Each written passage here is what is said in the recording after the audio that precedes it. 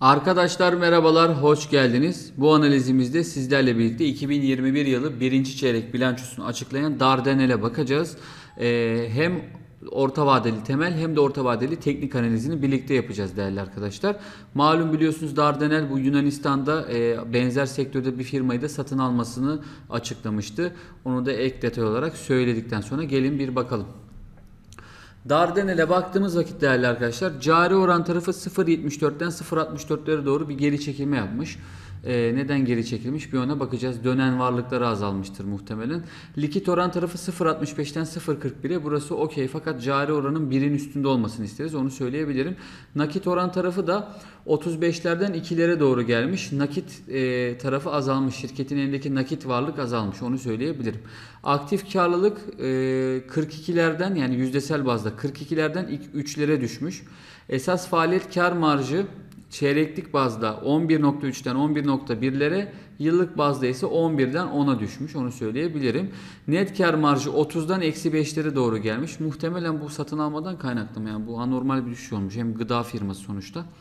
Net kar marjı da 12.4'ten 1'lere doğru gerileme yapmış değerli arkadaşlar. Finansman e, maliyet oranları tarafında e, satışların maliyetinde bir artış söz konusu. Burada onu görüyorum. 12'lerden 17.8'lere doğru çıkmış.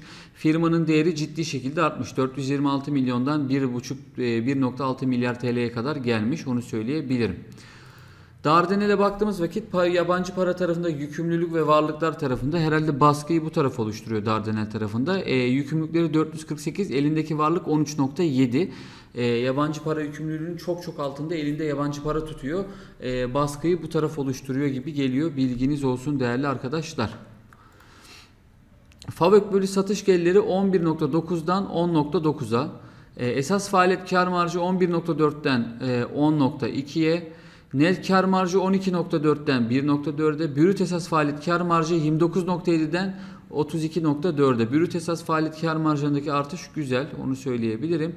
Peki Dardanel bulunduğu sektöre göre ucuz mu pahalı mı? Fiyat kazanç oranı gıda sektörü 41, Dardanel 81 arkadaşlar. Pahalı kaldığını söyleyebilirim. E, piyasa değeri defter değeri tarafında gıda sektörü 5.3, Dardanel 12.2. Burada da pahalı kaldığını söyleyebilirim. Arkadaşlar merhabalar, hoş geldiniz. E, normal şartlarda herkes başka birinden bir sponsorluk alır. Fakat ben kendi kanalıma yine kendim sponsor oldum. Peki nasıl sponsor oldum onu size söyleyeyim. Arkadaşlar bizler kanalımızda üyelerimize özel e, günlük piyasa analiz videoları çekiyoruz, analizleri çekiyoruz. Her akşam bunu yapıyoruz. Nedir? Bu bu analizler sayesinde doları 6.96'lardan yakaladık. Altını 510 pardon 410 liralardan yakaladık. Peki bu günlük piyasa analiz videolarını sizler nasıl izleyebilirsiniz? İşte sponsorlukta bu olmuş oluyor arkadaşlar. Günlük piyasa analizi video e, analizlerini arkadaşlar şurada katıl butonunda bakın günlük piyasa analiz diye burada çıkıyor. 60 lira aylık 60 lira katıl diyerek buradan tıpkı e-ticarette bir ürün alıyor musunuz gibi kredi kartınızda katıl butonuyla bu şekilde günlük piyasa analiz üyelerimize özel yaptığımız e, günlük analizlerimizi izleyebilirsiniz. Ve de bu sayede gün içinde Amerika tarafında neler oldu, Avrupa, Asya borsalarında durum nedir, Borsa İstanbul'da durum nedir, dolar, altın, gümüş, euro buralarda neler olmakta? Ve ve şu sonra çok trendde olan kripto para tarafında da neler oluyor, neler bekleniyor gibi bu analizleri her gün tek tek yapıyoruz. Bu sayede sizler de yatırımlarınıza daha kaliteli, daha güvenli şekilde yön verebilirsiniz. Hepinizi günlük piyasa analiz üyeliğimize bekliyorum. İyi günler. Diyebilirim. Bilançodaki direkt rakamlara bakalım arkadaşlar. Net satışları 620 milyondan 1 milyar TL'ye gelmiş. Esas faaliyet kar zarar tarafı 70 milyondan 103 milyona. Öz kaynakları eksi 211 milyondan artı 95 milyona çıkmış. Yani eksiden artıya çevirmiş kendini arkadaşlar. E, batıktı yani bat, şurada batmış pozisyondaymış. Çok çok kötüymüş durumu. E, pozisyonu tamamıyla kendini düzlüğe çıkartmış. Şu an 94 milyon öz kaynağıyla yoluna devam ediyor. Dardanel'de arkadaşlar benim dikkatimi çeken şey şu.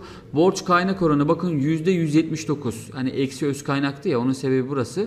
Fakat şu anda %86. Neredeyse borçlarının yarısını ödemiş. Bu gayet güzel. Yatırımcısı için güzel bir e, sinyal. Onu söyleyebilirim.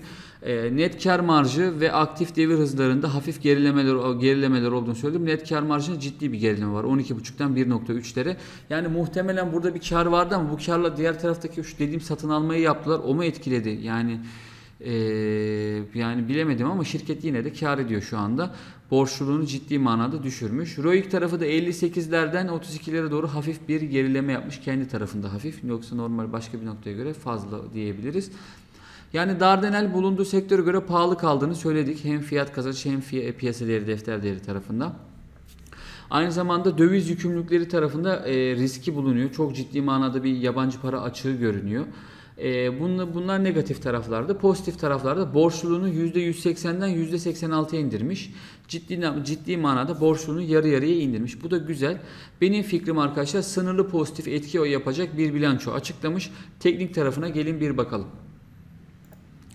Teknik tarafa baktığım vakit değerli arkadaşlar teknikte şöyle haftalık bazda bakıyoruz. Biliyorsunuzdur zaten beni takip edenler. Düşen bir kırılım var. O kırılımı her hafta bir deniyor fakat kıramıyor. Aşağıdaki şu güzel kullandığı destek çizgisine yükselen kırılıma doğru bir iğne atıyor. Geliyor onu söyleyeyim. Bu hafta da 21.40'larda e, kendisini kapattı, kapat, e, kapatmak üzere oldu veya kapattığını söyleyebilirim 21.40 seviyesinde. Bilginiz olsun. Şimdiki önündeki dirençlerine bakarsak arkadaşlar birinci direnç 23.40, ikinci direnç 23.60. İki tane ortalama bazında direnç var. Onu söyleyeyim. Aşağıdaki önümüzdeki hafta için destek 20 lira. Bir sonraki hafta için 20.40 tamam mı? Yani 20-21 aralığı destek çalışacak noktalar. Özellikle şuradaki düşeni kırmasıyla Dardanel'in yukarı yönlü bir hareket beklenir. Tamam onu söyleyeyim.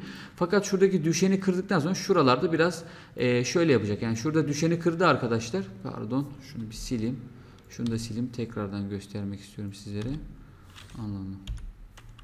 Bir dakika. Heh, şimdi oldu. Şimdi arkadaşlar düşeni kırdı. Tekrar gelecek şöyle bir test eder. Sonra şöyle bir hareket görebiliriz bu tarafta. Onu söyleyeyim. Ee, izleyeceğiz göreceğiz. Lakin ilk şu düşeni kırıp sonra şu güvenli bir testini yapıp retest diyelim ona. Yapıp tekrar oradan yukarı atmasını bekleyeceğiz. Dardanel yatırımcısının bilgisine. Oradaki dirençlerde de yukarıdaki ciddi direnç arkadaşlar 29 e, 34 çok ciddi duracak direnç. Orayı kırdıktan sonra 29-34'ü takip edebilirsiniz. Orayı kırdı kırmadı kırdı kırmadı şeklinde bilginiz olsun. Buradaki düşeni kırmasını bekleyeceğiz. Düşen seviyede şu an için kaç? 23.66 görünüyor. Önümüzdeki hafta için kaç görünüyor? 23 lira. Yani önümüzdeki hafta cuma baktınız cuma akşam 6'dan sonra borsa kapandı. 23'ün üstünde bir fiyat kapanışı görürseniz Dardanel'de bu düşeni kırmış demektir. Tamam mı? Ondan sonra yukarı yönlü bir hareket getirir. Piyasa bunu görür zaten.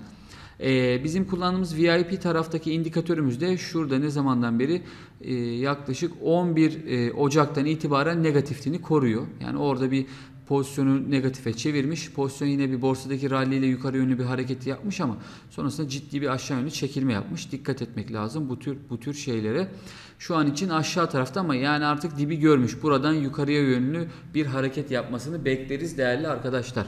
Durum bu arkadaşlar e, Dardanelli'de orta vadede düşeni kırmasıyla yukarı yönlü bir hareket yapabileceğini söyledik.